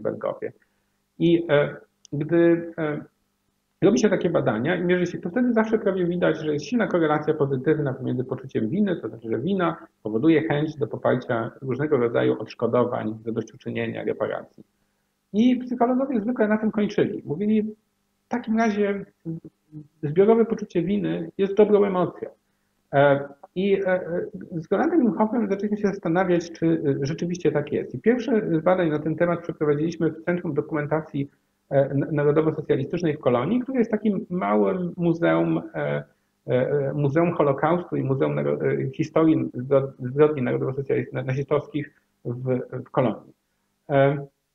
I badanych, którzy wychodzili z tego muzeum, czyli mieli tę tematykę gdzieś tam dostępną poznawczo, pytaliśmy ich o to, jakiego rodzaju emocje odczuwają. I tam wykorzystaliśmy taką skalę, w której e, można było wyrazić zarówno emocje winy, jak i emocje żalu, czyli żałuję, że taka historia miała miejsce i czuję się winny temu, co miało miejsce, o czym przed chwilą, e, co przed chwilą oglądałem. E, później zaś badaliśmy to, czy badani sobie wyobrażali, że na przykład spotkają się, spotkaliby jakiegoś Żyda, czy takie spotkanie byłoby przyjemne, czy też raczej nie. Badaliśmy ich gotowość do wchodzenia w kontakt, czy, mieliby, czy chcieliby na przykład pojechać do Izraela i poznać jakichś, jakichś Żydów osobiście. No i w końcu mierzyliśmy też zadośćuczynienie materialne, czyli czy na przykład czy Niemcy z budżetu państwa powinny wesprzeć e, e, e, dzisiaj cele właśnie, nie wiem, społeczności żydowskiej czy, czy, czy, czy Izraela. I tutaj jest tabela regresji, w której tak naprawdę no, nie trzeba tak bardzo, można nawet bez większej znajomości e, analizy regresji zauważyć tutaj jedną prawidłowość. To znaczy tam, gdzie mamy e, pozytywne współczynniki regresji, no to znaczy, że ten, te związki są pozytywne. Tam, gdzie są one negatywne, e, te związki są właśnie ujemne. Tak? Czyli co tutaj widzimy na, na, na tej tabeli? To znaczy ci badani, którzy odczuwali winę, zdecydowanie częściej mieli bardzo różne nieprzyjemne, przewidywali, że przebieg potencjalnego kontaktu z Żydami byłby nieprzyjemny. Tak? Znaczy, gdyby mieli okazję spotkać jakiegoś Żyda, to raczej byłoby to nieprzyjemne doświadczenie. Żal nie miał takich konsekwencji. E, odczucia winy powodowały, że badani e, nie, nie za bardzo skłaniały badanych do e, wejścia w kontakt z Żydami. Ten, ten współczynnik jest stosunkowo słaby. Odczucia żalu, znaczy ci badani, którzy żałowali tego, co się stało, w zdecydowanie większym stopniu chcieli e, wejść w jakiś kontakt z Żydami, poznać jakichś Żydów. E, jeżeli chodzi o odszkodowania, to tutaj widzimy zdecydowane winy. Znaczy ci, którzy e, czuli się winni, chętniej poparliby odszkodowania. Ci, którzy odczuwali żal, też popieraliby odszkodowania, ale tutaj ten, ten związek jest nieco słabszy. Dobrze. Kolejne badania y, dotyczące tej problematyki przeprowadziliśmy w Oświęcimiu, wśród mieszkańców Oświęcimia, e, współczesnych, dzisiejszych mieszkańców Oświęcimia. I e, e, ich również zapytaliśmy o to, jakie emocje odczuwają w związku z istnieniem obozu i z biernością poprzednich pokoleń wobec losu Żydów, kiedy, kiedy czytają o tym, co tam się działo i, i, i czytają, że, że, że, że, ta pomoc E, e, polskiego otoczenia była, była stosunkowo, stosunkowo rzadka. No i też mierzyliśmy tam poczucie winy, e, emocje żalu i wstydu. Mierzyliśmy podstawy takim termometrem uczuć wobec Żydów, gotowość do zadośćuczynienia. Czy na przykład uważają oni, że miasto powinno przeznaczyć jakieś pieniądze na odbudowę cmentarza żydowskiego i chęć kontaktu z Żydami, czyli taką gotowość akceptacji Żydów w najbliższym otoczeniu. No i tutaj ponowiło się to, co widzieliśmy w badaniu niemieckim. To znaczy ci badani, którzy e, odczuwali żal, e, byli, e, mieli znacznie bardziej pozytywną postawę wobec Żydów. Wina nie wiązała się z bardziej pozytywną postawą. Jeżeli chodzi o chęć wejścia w kontakt z Żydami, ci, którzy żałowali, że coś takiego się działo w tym, w tym mieście, bardziej chcieli poznać jakichś Żydów, natomiast odczucia winy nie powodowały tak, nie, nie motywacji. Z kolei, którzy odczuwali winę, zdecydowanie częściej e, e, chcieli e, więcej zadośćuczynić materialnie, materialnie Żydom. No i kolejne badania w zupełnie innym kontekście. To jest o tyle ciekawe, że tu mamy zbrodnię, która jest w jakimś sensie symetryczna. Zbrodnia w Pawłokomie, gdzie mm, jest to o tyle ciekawy region, gdzie, gdzie doszło do, do zbrodni dokonywanych przez Armię Krajową na, na, y, y, na Ukraińcach, na, na, na ukraińskiej cywilnej ludności, e, ale też w innych miejscowościach zupełnie niedaleko stamtąd położonych dochodziło do analogicznych zbrodni dokonanych przez e, ukraińską powstańczą armię na polskiej ludności cywilnej. No i w tym miejscu w Pawokomie przedstawiliśmy badanym historię mordów na Ukraińcach dokonanych tam i też pytaliśmy się w kontekście tych zbrodni, czy badani odczuwają poczucie winy, ale też pytaliśmy właśnie o odczucia żalu, żałowania tego, tego, z powodu tego, co się stało. Później mierzyliśmy gotowość do przyjmowania perspektywy Ukraińców, e, poczucie takiej bliskości Ukraińców do ja i ogólną postawę wobec Ukraińców. I to, co zauważyliśmy w tym badaniu, to, że po pierwsze właśnie żal zwiększał przyjmowania perspektywy, był powiązany z większą jakby taką poznawczą ją. Wina nie była z tym związana. E, żal był związany większą e, bliskością Ukraińców do takim postrzeganiem, że Ukraińcy są, są w sumie do nas, do nas podobni jakoś. E, wina się z tym nie wiązała. E, no i żal też wiązał się z bardziej pozytywną postawą wobec Ukraińców dzisiaj. Wina, e, nie, odczucia winy nie powodowały mm, takiego, takiej zmiany, takiej poprawy, poprawy postawy. Zrobiliśmy taki większy model ścieżkowy z tego. To jedna rzecz, jedna rzecz, która nas uderzyła, to te związki, już tutaj mówiłem, że wina buduje wzrostu poczucia bliskości, nie poprawia postawy do Ukraińców, ale też, co jest najciekawsze, w tam prawie nie pojawia. Znaczy, y, badani, którzy czytali tą historię o Pawłokomie, bardzo niewielu z nich e, e, deklarowało, że czuje się winnych z powodu tego, e, co miało miejsce w Pawłokomie. I tutaj to badanie y, polsko-ukraińskie pokazuje bardzo ważny korelat poczucia, znaczy korelat żalu E, i żałowania, jakim jest e, empatia i gotowość do przyjmowania perspektywy, e, przyjmowania perspektywy ofiar. I tu jest badanie, które zrobiliśmy na grupie studentów z Bonn z Rolandem Imhoffem, gdzie pokazywaliśmy tekst dotyczący identycznego zdarzenia związany ze zbrodniami dokonanymi w czasie Holokaustu. I tekst ten był napisany na dwa różne sposoby albo w sposób, e, który koncentrował uwagę na sprawcach, to znaczy był opisany tak, że, że czytając zwracało się uwagę na sprawcach, albo koncentrował on uwagę na ofiarach. Po przeczytaniu tego tekstu badani mieli określić, w jakim stopniu odczuwają winę, w jakim stopniu odczuwają, e, żałują tego, co, co się stało. W wypadku tekstu skoncentrowanego na sprawcach, w dużo większym stopniu badani odczuwali winę, w mniejszym stopniu odczuwali żal. Wtedy, gdy tekst był skoncentrowany na ofiarach, wówczas pojawiała się wina, ale w jeszcze większym stopniu pojawiał się żal. I to sugeruje, że żal, którego różne pozytywne konsekwencje pokazywałem Państwu na przykładzie e, tych badań, e, że żal tak naprawdę jest emocją wynikającą z przyjmowania perspektywy ofiary. To znaczy skoncentrowanie się na ofiarach, wyobrażenia sobie, zastanowienia się nad tym, jak ofiary się czuły, kim one były. Wina w dużo większym stopniu e, wynika właśnie z tej, e, z tej e, koncentracji, znaczy ona też się koncentrujemy się na ofiarach, ale ona się pojawia również wtedy właśnie, kiedy jesteśmy, kiedy nasza uwaga jest skoncentrowana na, na sprawcach. I jeżeli sobie myślimy o tych konsekwencjach, to, to wina mają odmienne konsekwencje. To znaczy wina zdecydowanie częściej prowadzi często do zadośćuczynienia. To jest taka emocja, która by skłaniała nas do tego, żeby zapłacić, ale trzymać się od nich z daleka. Przeznaczmy jakieś pieniądze, ale żeby oni nam swoją obecnością nie, nie przypominali o, tym, o tej strasznej zbrodni, która na nas moralnie ciąży i która ciąży na naszym moralnym wizerunku. Natomiast jeżeli żałujemy czegoś, to niekoniecznie musimy chcieć zapłacić czy zadośćuczynić materialnie, ale chcemy poznać tych, którzy są potomkami ofiar. Chcemy w jakiś sposób um, odbudować z nimi relacje. Czyli tak naprawdę ta emocja żalu jest tą najbardziej konstruktywną emocją w kontekście e, pojednania. E, I z tego wynikało, że empatia jest zawsze konstruktywną emocją, tak? I e, taką emocją, która jest pożądana wtedy, kiedy chcemy, kiedy, kiedy, kiedy mówimy o Holokauście. E, I e, na koniec chciałbym troszkę dokonać pewnego zastrzeżenia w tym, które e, oparte jest na badaniach, które prowadziliśmy wśród młodzieży odwiedzającej miejsca pamięci. A dokładnie miejsce pamięci, dokładnie Muzeum Auschwitz-Birkenau, czyli tereny dawnego, dawnego obozu Auschwitz-Birkenau.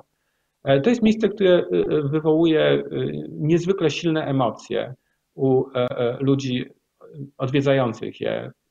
Oczywiście bardzo często tam te emocje są wywoływane przez obiekty, tak? To jest miejsce, w którym mamy do czynienia nie z symbolicznym upamiętnieniem, ale z konkretnymi obiektami, które tam się znajdują. I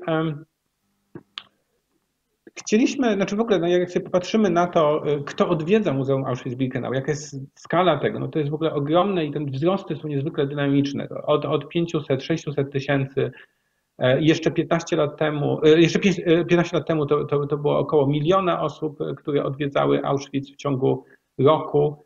No i, i teraz już naprawdę już przekroczyliśmy, przekroczy, przekroczyła liczba, to był powinien być 2017 rok, liczba odwiedzających przekroczyła 2 miliony osób. Co najważniejsze, zdecydowaną większość e, osób odwiedzających Auschwitz e, są osoby młode. E, I to są bardzo różne grupy. To są na przykład grupy Marszu Żywych, które przyjeżdżają co roku do grupy młodzieży żydowskiej z, z, z całego świata. I te grupy często badane są psychologiczne konsekwencje wizyt w, na terenie obozu. E, I to, co pokazują e, e, Nagel i współpracownicy, to że te, te, te, wizyty nie wpływają na jakieś, jakąś ogólną duchowość czy przekonania religijne um, uczestników Marszu Żywych, nie wpływają na poczucie sensu życia i szereg innych zmiennych, takich jak nadzieja, optymizm. Natomiast to, co zdecydowanie zwiększają, to podwyższają jakieś takie ogólne poczucie trwogi, jakiejś egzystencjalnej niepewności. I e, w tym badaniu zauważono też bardzo silne objawy somatyzacyjne u e, e, uczestników takich wyjazdów. To znaczy porównano badanych przed Marszem Żywych, w trakcie Marszu Żywych i trzy miesiące po Marszu Żywych i na przykład pojawiały się różnego rodzaju objawy bólowe, objawy żołądkowo-jelitowe, które później zanikały po, po, po udziale w Marszu Żywych, czy objawy pseudoneurologiczne. E, I to są, e, te, te somatyzacje wskazują na to, że mamy do czynienia tam z jakimś bardzo silnym procesem emocjonalnym, który się dzieje w czasie e, odwiedzin w miejscach pamięci. Szeszczer i Salomon badali z kolei wizyty izraelskich licealistów. I zauważyli oni, że ci izraelscy licealiści, którzy odwiedzają, odwiedzają Auschwitz, oni potrafią wyjechać stamtąd z takimi dwiema zupełnie sprzecznymi lekcjami czy, czy, czy, czy interpretacjami tego doświadczenia. E, jedni z nich e, wyjeżdżają z takim doświadczeniem właśnie narodowym, czyli my jako naród musimy być silni po tym, co się stało, żeby nigdy więcej do tego nie dopuścić. Czyli że to jest jakby doświadczenie Żydów, doświadczenie nas, e, Żydów, a nie jakieś ogólne doświadczenie historyczne. No i są też tacy uczestnicy, którzy wyciągają z tego właśnie bardziej uniwersalne jakby lekcje, tak to nazwali Schaeffer i Salomon, czyli mają takie doświadczenie, że tutaj e, e, e, będąc w Auschwitz zrozumieli to, ten upadek człowieczeństwa i to, tą straszną zbrodnię, której ofiarą, do, do której doprowadzili naziści i do której może w przyszłości jeszcze kiedyś dojść.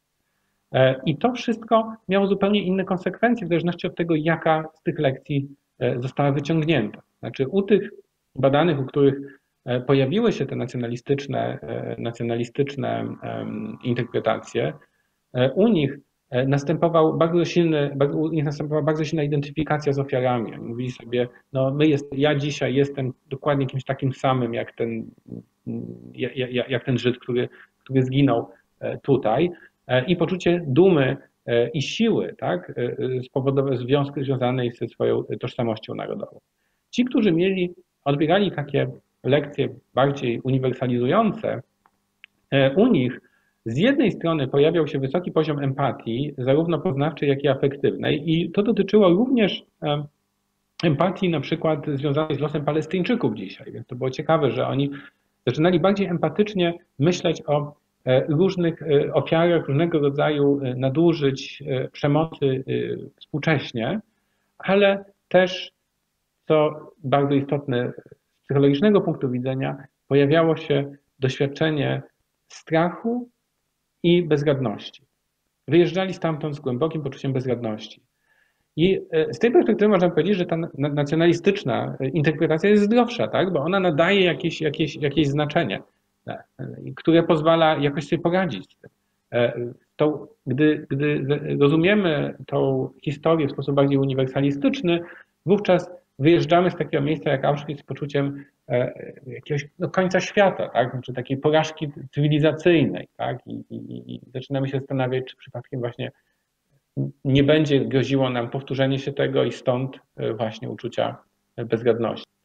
I e, tego dotyczyły badania, które prowadziliśmy w, we współpracy z Centrum Żydowskim w Oświęcimiu, E, przeprowadzone na grupie, na grupie licealistów e, z Małopolski odwiedzających e, Muzeum Auschwitz-Birkenau. I w tym badaniu właśnie skoncentrowaliśmy się z jednej strony na empatii, na ile takie odwiedziny wywołują uczucia empatyczne, ale też chcieliśmy właśnie zrozumieć te bardziej kliniczne konsekwencje tego, czyli E, czy pojawiają się takie objawy, które nazywamy w psychologii wtórną traumatyzacją. E, wtórną traumatyzacją, czyli e, tak, czymś bardzo podobnym do PTSD, do zaburzeń stresu pourazowego, które na przykład obserwujemy choćby nie u terapeutów pracujących z osobami straumatyzowanymi albo u krewnych osób straumatyzowanych, którzy przez częsty kontakt z traumą sami traumatyzacji ulegają. Tą traumatyzację E, wykazano w bardzo wielu różnych kontekstach, przykład u członków rodzin osób ocalałych z Holokaustu, e, u potomków osób ocalałych z Holokaustu, często nawet u wnuków e, ocalałych z Holokaustu zaobserwowano traumatyzację wynikającą z historii przekazywanych w rodzinach. I właśnie u terapeutów, którzy zajmują się takimi osobami.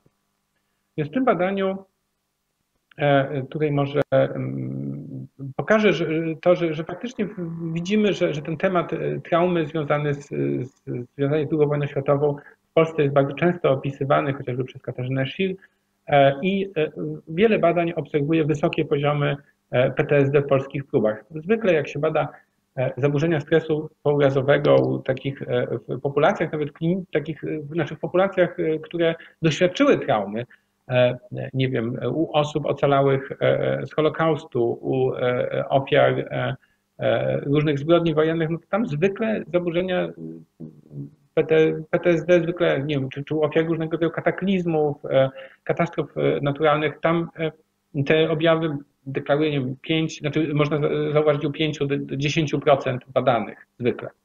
PTSD nie jest wcale takie bardzo częste, nawet wśród populacjach straumatyzowanych.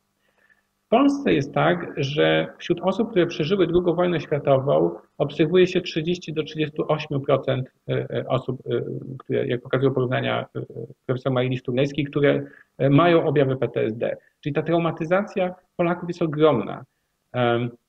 Znaczy, to PTSD u Polaków jest ogromne. Ale też, co ciekawe, na przykład 18% licealistów badanych po powodzi na Dolnym Śląsku u 18% spośród tych licealistów też zaobserwowano objawy PTSD, czyli więcej niż u na przykład e, właśnie ofiar jakichś zbrodni wojennych w innych krajach. No i właśnie te badania amerykańskie czy izraelskie, o których mówiłem, które, które, które sugerują, że faktycznie jest jakieś takie podwyższenie lęków w wyniku marszu żywych. No to nas skłoniło do tego, żeby zbadać również w Polsce. I tutaj mieliśmy mm, prawie 700 e, uczniów, e, którzy uczestniczyli w, w tych wizytach w Auschwitz-Birkenau i na początku pierwszy pomiar, pierwszą ankietę wypełniali oni dla nas na miesiąc przed wizytą, drugą ankietę wypełniali bezpośrednio po wizycie i trzeci raz wróciliśmy do nich jeden miesiąc po wizycie w Muzeum Auschwitz-Birkenau i, i, i, badaliśmy ich, ich e, e, emocje i badaliśmy wtedy również właśnie tą kwestię e, traumatyzacji. Więc to, co zauważyliśmy w tym badaniu, to, że E, po wizycie i miesiąc po wizycie zauważyliśmy u badanych zdecydowanie wyższe poziomy empatii wobec Żydów. E, czyli e, jest faktycznie tak, że odwiedziny w miejscu pamięci obozu Auschwitz-Birkenau zwiększają empatyczne, empatyczne reakcje wobec Żydów. Zauważyliśmy też poprawę postaw wobec Żydów, to znaczy badani, których mierzyliśmy, bo to są, to są, to są sami badani, gdy badaliśmy ich e, po wizycie w Auschwitz, czy miesiąc po wizycie, to te postawy deklarowane wobec Żydów były bardziej pozytywne aniżeli przed wizytą. To jest, tak można powiedzieć, na, na poziomie takich porównania średnich widzimy, że w tej populacji faktycznie wizyty e, e, w miejscach pamięci wzbudzają empatię i wpływają na bardziej pozytywne postawy. ale mierzyliśmy też właśnie wtórną traumatyzację. I popatrzmy na uogólniony poziom PTSD, który mierzyliśmy tylko oczywiście w trzecim pomiarze, czyli miesiąc po, po, po wizycie.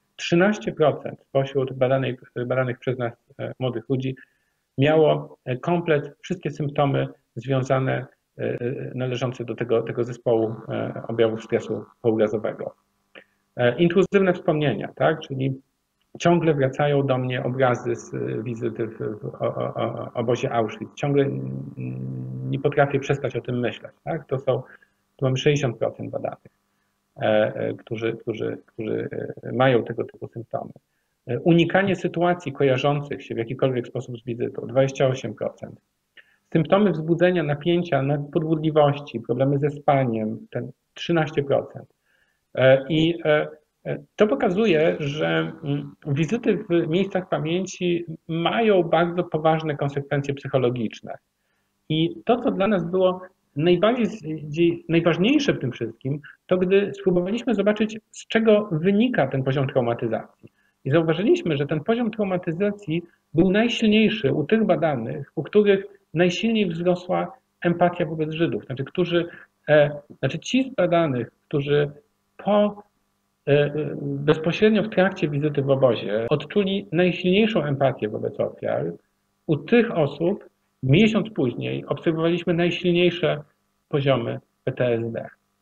E, I to jest e, coś, co, co e, trochę nas zaniepokoiło i zadało pewne pytanie, czy, czy jaki powinien być w ogóle cel takich odwiedzi. To znaczy, i, i, że powinniśmy jakoś podchodzić do tego w bardzo wyważony sposób. Znaczy, wszystkie badania, o których wiemy, pokazują na, na zdecydowanie jednoznacznie pozytywną rolę empatii w edukacji o Holokauście. Ale y, właśnie trzeba się poważnie zastanowić nad tym, czy e, nie ma też negatywnych konsekwencji tego, takich stricte psychologicznych. Gdy trafiamy na bardzo wrażliwą młodzież, która, e, e, która, którą konfrontujemy z historią Holokaustu, czy to właśnie przez wizyty w miejscach pamięci, czy to przez lekturę, lekturę takich tekstów jak, jak, jak książki Borowskiego czy, czy Primolewiego, czy Kajtesza, to czy, czy, czy nie jest tak, że faktycznie możemy wtedy wzbudzić bardzo silne emocje i e, zachwiać trochę jakąś podstawową wiarą w, w świat, e, która może doprowadzić do pewnych problemów psychologicznych, również takich stricte klinicznych, o których mówiłem. Więc tak, z jednej strony Wygląda na to, że edukacja o Holokauście, która jest oparta na poczuciu winy, rodzi reakcję obronną. Znaczy, że wtedy, kiedy chcemy na samym początku wzbudzać emocje winy, to efekty będą mizerne, ponieważ po pierwsze właśnie ci ludzie, którzy się bardzo silnie identyfikują narodowo, ci ludzie, którzy bardzo słabo się identyfikują ze swoim narodem, nie będą mm, w ogóle reagować na coś takiego, to znaczy będą raczej odrzucać to i jak pokazałem, istnieje szereg strategii e, poznawczych, emocjonalnych, strategii takich regulacyjnych, które pozwalają odsunąć od siebie E, poczucie winy. E, jeżeli, e, no i poczucie winy ma też różne negatywne konsekwencje, to znaczy poczucie winy, ono może prowadzić do jakiegoś rodzaju zadośćuczynienia, ale raczej powoduje, że chcę być jak najdalej, chcę jak najdalej odsunąć od siebie tych, których skrzywdziłem. Więc wygląda na to, że jeżeli zależy nam na zmianie postaw, to lepiej oprzeć edukację na, na żalu, na odczuciu tak pewnego, pewnego żalu w związku z utratą czegoś, co było dla nas ważne, i empatią, i jakimś rodzajem właśnie wczucia się, może nie wczucia, to jest chyba nie da się wczuć pewnie tak łatwo w ten kontekst, ale skoncentrowania się na emocjach, e, e, które i, i na osobie ofiary raczej niż na naszej wyłącznie odpowiedzialności jako sprawców. Ale to wszystko, tak jak mówiłem, ma swoje psychologiczne efekty uboczne. Pogorszenie, ogólne pogorszenie dobrostanu psychicznego, możliwa wtórna traumatyzacja, to wszystko są e, konsekwencje tego właśnie bardzo empatycznego podejścia do nauczania o Holokauście. Więc co z tego wynika? To znaczy, ja nie chciałbym dawać bardzo jednoznacznych wskazówek na temat tego, jak przekazywać wiedzę o Holokauście. Wygląda na to, że e, wzbudzanie winy, e, jeżeli celem ma być wzbudzanie winy, no to wtedy te reakcje obronne spowodują, że sama, same treści przestaną być dostępne. Znaczy ludzie przestaną, zaczną kwestionować same treści, które mamy im do przekazania. Więc może lepiej zacząć od przekazywania treści, a dopiero później poczekać na to, jakie emocje się pojawią. E, I jeżeli chodzi o empatię, no to wydaje mi się, że to jest nieuchronne, że taka empatia przynajmniej u części, u części osób się pojawi, gdy będziemy przekazywać im tą wiedzę.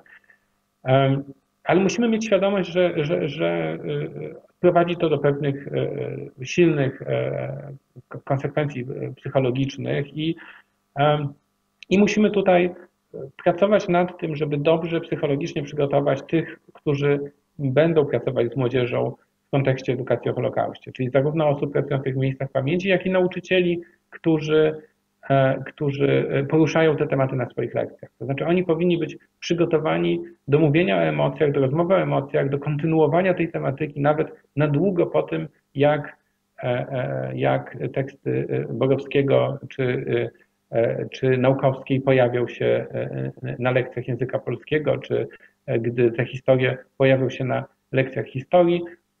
Na długo potem możliwe, że trzeba będzie pracować z młodzieżą, wracać do tych tematów, dyskutować o nich, e, po to, żeby nie zostawiać e, uczniów samymi z tymi emocjami, które e, u nich się bardzo często, jak widać, pojawiają. Dziękuję bardzo i mam nadzieję, że będziemy mieli teraz jeszcze trochę czasu na, na dyskusję i pytania. Wyłączę teraz ten pokaz slajdu.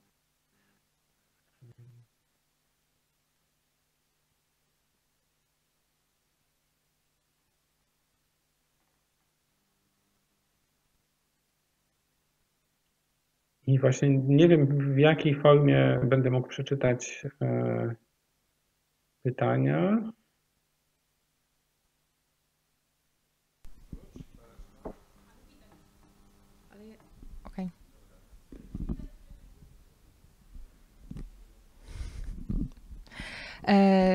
Bardzo dziękujemy za wykład.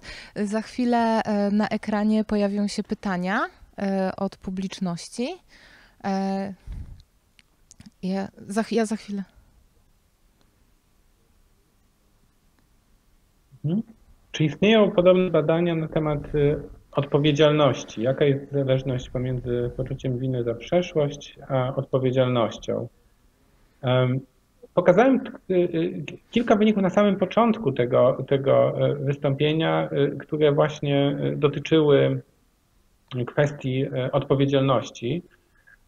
I E, to jest tak, e, znaczy zwykle te, te związki winy z odpowiedzialnością, z poczuciem e, odpowiedzialności są, są liniowe, to znaczy jeżeli ktoś odczuwa winę, to, to czuje się odpowiedzialnym, jest odwrotna zależność, znaczy że jeżeli ktoś jest odpowiedzialny, jeżeli ktoś czuje, że my odpowiadamy za to, czyli ja osobiście odpowiadam za zbrodnie czy jakieś niegodziwości dokonane przez moją, moją grupę, moich rodaków, wtedy częściej pojawia się poczucie winy, ponieważ to samo to słowo wina, to pojęcie e, w języku polskim ma też swój wymiar prawny, ale nie tylko po polsku, to znaczy tak, po angielsku również, e, że to jest emocja, ale z drugiej strony to jest stan, e, prawda, znaczy mówimy winny w sądzie wtedy, kiedy ktoś jest winny, kiedy ktoś jest odpowiedzialny za dokonanie jakiejś zbrodni.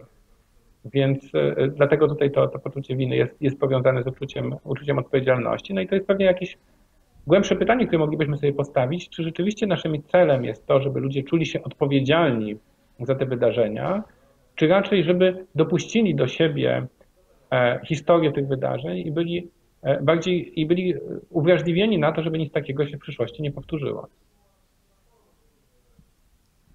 Kolejne pytanie, zaraz się pojawi.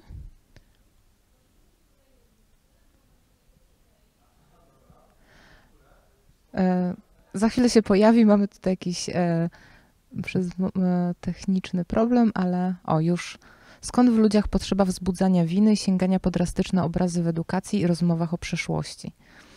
Mówiłeś właśnie o tym, że to wzbudzanie winy tak naprawdę nie jest efektywne, a jednak to się bardzo mhm. często pojawia i w rozmowach, i też często w, w, w, edukacji, tak? Jest takie przekonanie, że właśnie e, epatowanie e, tą traumą, czy epatowanie drastycznymi przykładami może pomóc w, w, nie wiem, w takim potrząśnięciu mhm. odbiorcą. Tak, no to jest, e, ja myślę, że to jest jakieś takie naiwne przekonanie, które gdzieś tam trochę, e, trochę jest może powiązane z takim naiwnym rozumieniem psychoanalitycznym, że prawda nas wyzwoli, tak, że skonfrontowani z prawdą, że to jest taki rodzaj takiej konfrontatywnej terapii, tak, ale sama konfrontacja z historią jeszcze sama w sobie nie był ale wtedy, kiedy ta konfrontacja idzie z potrzebą wzbudzenia jakiej, jakiejś emocji, no to wtedy rzeczywiście ona może powodować, że, że same fakty nie będą przyjmowane.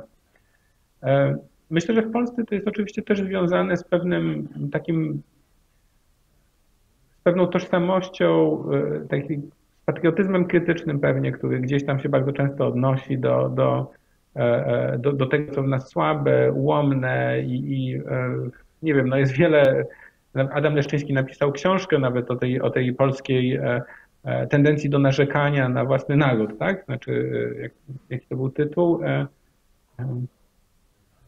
Taki bardzo, bardzo chwytliwy tytuł e, książki, które ja zapomniałem, że, że e, Polska to coś najgorszego generalnie, tak? I, i, i że, że to się wpasowuje jakoś taką tendencję do, do no to, to, co na przykład w badaniach Bogdan Wojciszko opisuje jako polską kulturę narzekania, tak? Znaczy, że my lubimy narzekać. To, to taka tendencja do, taka kultura negatywności w Polsce jest, jest jakoś tam silna. I, i, I może to być z tym związane, że to jest jakby taki sposób rozumienia, w którym gdzieś jesteśmy E, ta, ta emocja winy gdzieś tam pasuje do nas. Oczywiście to może też być e, jakiś rodzaj takiej klasowej e, strategii odcinania się trochę od tego, że my się tak naprawdę możemy bić nie po własne piersi, to znaczy mówimy, że się czujemy winni, ale tak naprawdę to czujemy, że to jest wina jakiegoś narodu polskiego, którego, do którego my tak naprawdę nie należymy. Może to być strategia odcinająca się, prawda? że to są jacyś tam właśnie wieśniacy z, z, z podjedwabnego, którzy tego dokonali, a my tutaj kulturalna inteligencja krakowska czy warszawska nie mamy z tym wiele wspólnego. Tylko wtedy tak naprawdę ta emocja winy się nie pojawi. To jest raczej właśnie nawoływanie do winy, ale e, wtedy nie jest to związane z faktycznym odczuwaniem winy, bo tak jak pokazywałem w badania Likaty czy, czy, czy e, Masona i Barta, to, to takie osoby nie odczuwają tak naprawdę winy, tylko one raczej gdzieś pewnie oczekują, że ktoś inny będzie tą winę odczuwał. Więc ja myślę, że to wszystko może mogło prowadzić do tego, że ta cała debata, dyskusja gdzieś tam koncentrowała się na, na, na poczuciu winy. E, oczywiście jest, jest, mi się wydaje, że ta kwestia nie winy i odpowiedzialności jest jakoś tam centralna dla chrześcijaństwa. Nie, nie mają generalnie jakąś dużą tendencję do odczuwania i myślenia w kategoriach winy. No i to, jak widać, nie zawsze ma bardzo pozytywne konsekwencje. Myślę, że to są takie, takie wyjaśnienia, które przychodzą, przychodzą mi do głowy. Natomiast jeżeli chodzi o, e, o to przedstawianie tych bardzo takich bardzo drastycznych historii związanych z Holokaustem, no to ja myślę, że po pierwsze jest bardzo trudno pokazać Holokaust nie w kontekście drastycznej historii i to zawsze jest drastyczna historia. Znaczy możemy zostać na poziomie, na poziomie e, dziennika Anny Frank, ale, ale, ale zawsze ta Anna Frank potem trafia do Auschwitz, tak? I, i poza tym los tych, tych dzieci, które nie ukrywały się w Amsterdamie, tylko, tylko na przykład w Bodzentynie, tak? Czy, czy nie, nie wiem gdzie, Dawidek Rubinowicz, tak? Czy, czy, czy, czy inne te dzienniki dziecięce z Polski, no to one już, one już są bardzo drastyczne, tak? Bo, bo, to, bo, bo, bo tutaj po prostu to wyglądało tak na terenie generalnego gubernatorstwa, więc um, obawiam się, że, że, że bardzo trudno jest pokazać tą historię w sposób niedrastyczny, natomiast na pewno e, to, czego warto unikać, to jest epatowanie. Nie mówiłem tutaj o tym, ale e, też robiliśmy mm, trochę badań na ten temat e, takiej właśnie pornografii przemocy, to znaczy to, tego pokazywania, bardzo naturalistycznego pokazywania ofiar, właśnie ciał, ciał ludzkich, wychudzonych zwłok, E, bo wiemy, że nie tak ci ludzie chcieli być zapamiętani i e, e, bardzo ważne jest to, żeby zachowywać jakiś szacunek dla, dla samych ofiar. I badania, które prowadziliśmy na ten temat pokazywały, że jeżeli właśnie epatujemy tymi obrazami bardzo drastycznymi, czasami właśnie niepotrzebnie i nadmiarowo, to wtedy y, ludzie bardzo mało zapamiętują samych informacji, na przykład na temat, na temat obozu Auschwitz, tak? czy na temat biografii osób, o których mówimy. Nie zapamiętują ich, ponieważ są bardzo silnie emocjonalnie pobudzeni tym e, e, samym obrazem wychudzonych zwłok na przykład, tak? czy, czy, czy góry e, usypanej z prochów ludzkich albo, albo z włosów. Tak?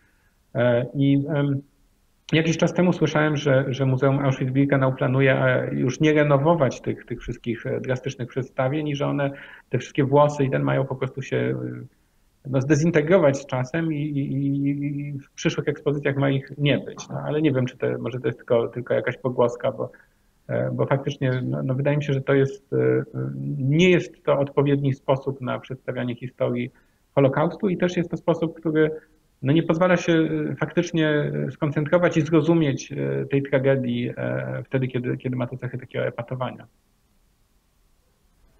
Dziękuję. Następne pytanie. Jak bezpiecznie konfrontować młodzież z trudną przeszłością? Trochę w nawiązaniu do tego, co przed chwilą powiedziałeś, że zawsze jednak te traumatyczne historie się pojawią.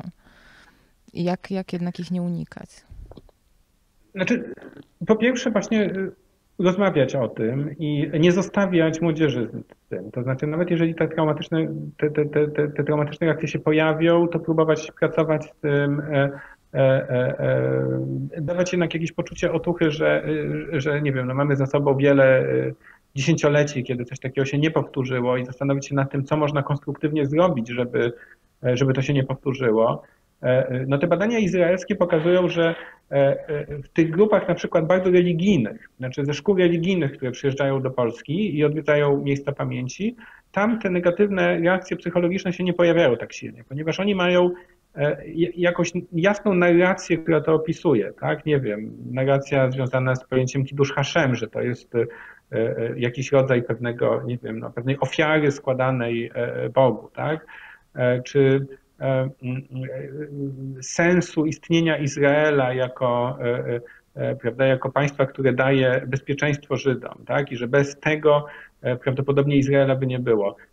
To jest oczywiście wszystko pewnym nadużyciem z punktu widzenia historycznego pewnie, ale e, no, ludzie potrzebują takiej narracji, żeby, żeby się pogodzić z tak traumatycznym doświadczeniem. Więc e, ja myślę, że to jest e, nadanie jakiejś sensownej narracji, która może być też, też narracją taką pokazującą, że to dla nas powinno być wezwaniem do tego, jak, jak dzisiaj funkcjonować, jak, jak uczynić świat miejscem, w którym to się nie powtórzy. To jest jakiś sposób na, na, na, na pracę z potencjalnie pojawiającą się, się traumą.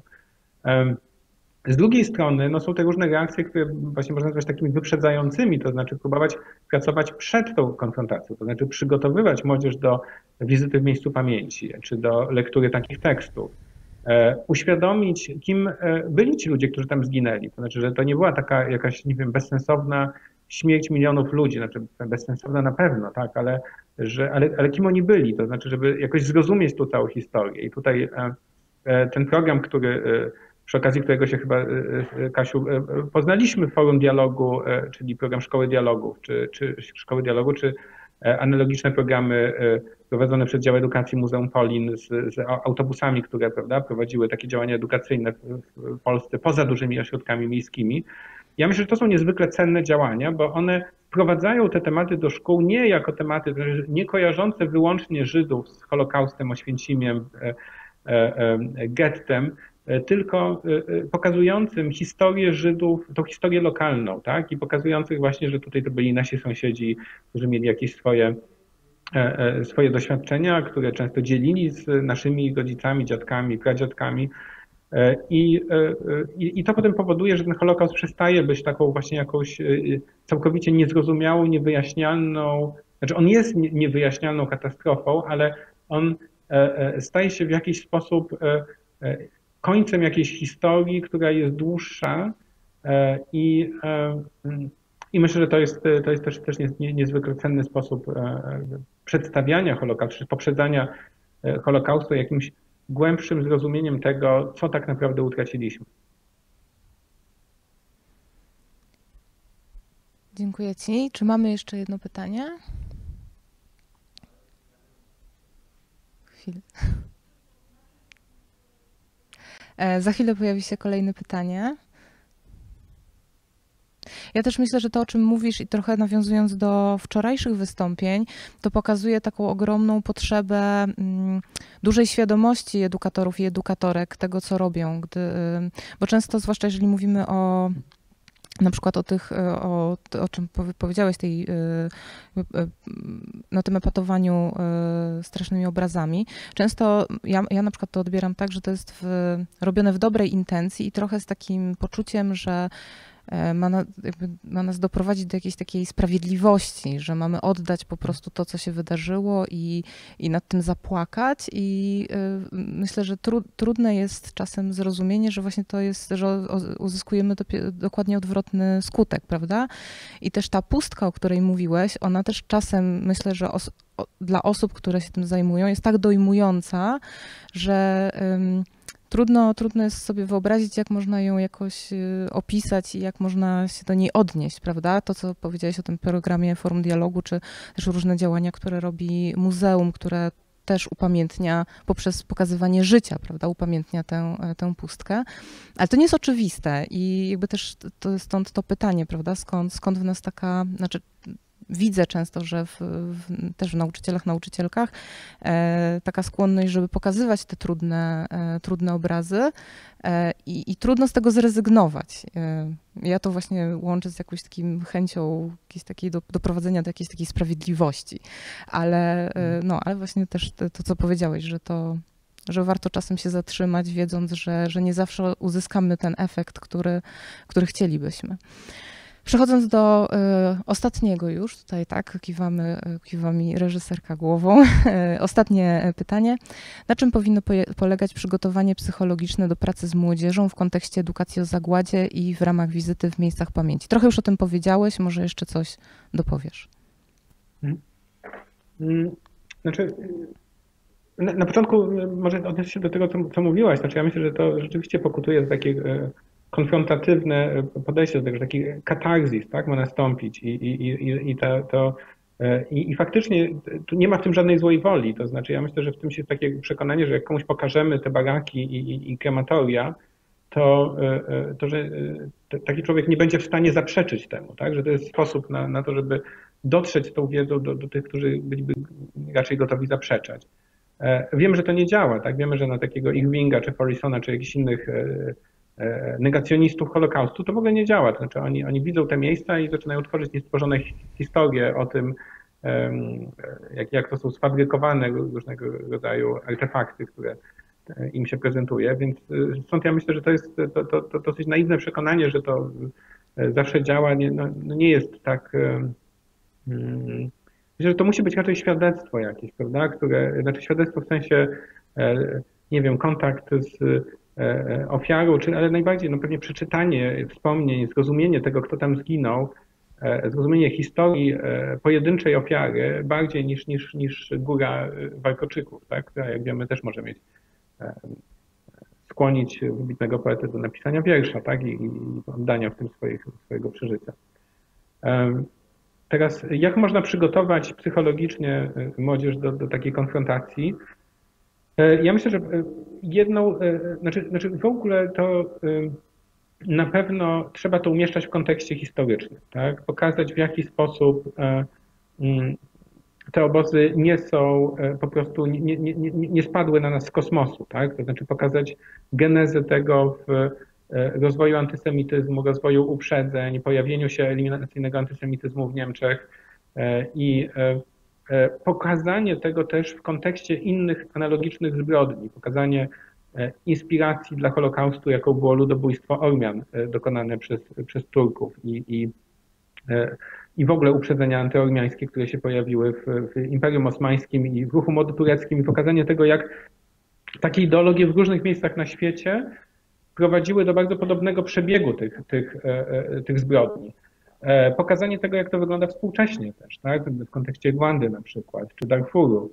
E, e, I zastanowienie się też tak w taki trochę kontrfaktyczny sposób nad tym, jak można czemuś takiemu przeciwdziałać. To znaczy, gdzie są te mechanizmy, którymi moglibyśmy w jakiś sposób do tego nie dopuścić. Tak? To znaczy, kto powinien się pojawić w tej bawarskiej piwnej knajpie, żeby hasła Hitlera nie stały się tak tak atrakcyjne dla, dla e, słuchających go e, weteranów I wojny światowej na przykład. Tak też nawet do tego poziomu, to znaczy zastanowić się nad tym, co człowiek może zrobić i to da wtedy to poczucie sprawstwa, czy jakiejś takiej minimalnej kontroli nad biegiem historii, ponieważ to, co ma miejsce z, w wypadku tych traumatyzujących doświadczeń, to jest takie dojmujące uczucie utraty kontroli, tak? że to są jakieś nieuchronne, straszne procesy historyczne, na które nie mamy wpływu, one się dzieją, i prowadzą do, do, do, do Holokaustu. No i takie poczucie, że, że my jesteśmy w stanie coś zrobić, żeby może jakoś w to zaingerować, powstrzymać jakieś